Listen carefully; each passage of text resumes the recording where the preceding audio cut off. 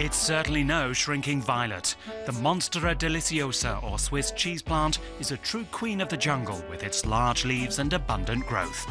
This season's must have, it features in every trendy apartment right now as the plant's popularity continues to spread. Actress Jennifer Lawrence shared the cover of Vanity Fair with Swiss cheese plants, and they adorn a Gucci top. The sustainable fashion brand Greenly has designed an entire swimwear collection around the plant, and images of its distinctive leaves appear on products of all kinds, from posters to cushions. Juan E. Prestel from upscale Berlin florists Massano has an explanation for all this hype. It's incredibly decorative, thanks alone to these very unusual leaves, where every one is different. Many architects place them in very austere contexts. Their wild character represents a real break in style. There's this pared down minimalism, and then along comes this very wild primeval plant and just runs riot. What personally fascinates me about the Monstera is that one leaf is enough. You can just put one in a nice vase, and that's decoration enough for your apartment. The Swiss cheese plant originally comes from Central America. The Polish botanist Józef Warszewicz brought the first one back to Europe in the mid 19th century. This was the beginning of a blossoming career as a source of inspiration for a number of artists. Pablo Picasso shared his studio with a huge monstera. Henri Matisse's famous collages were inspired by them. Art critic Silke Hormann says he was most fascinated by their leaves.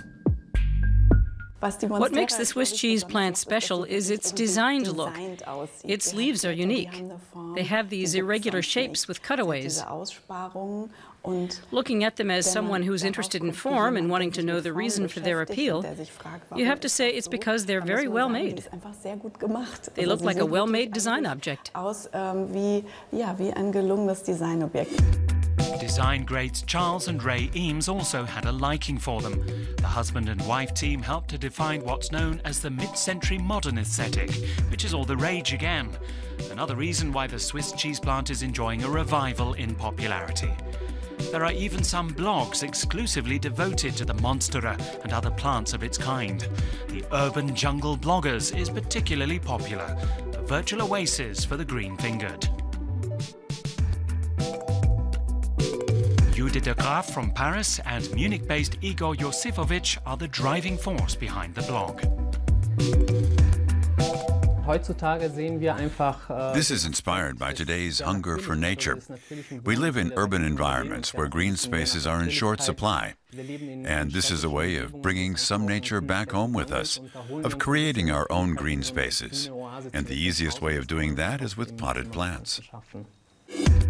That's why they've written a book called Urban Jungle. It's a collection of ideas, a source of inspiration, a handbook for all those who want to introduce more plants into their lives.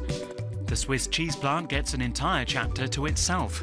What's also popular, an old favourite, the rubber plant. This beauty, the Calathea.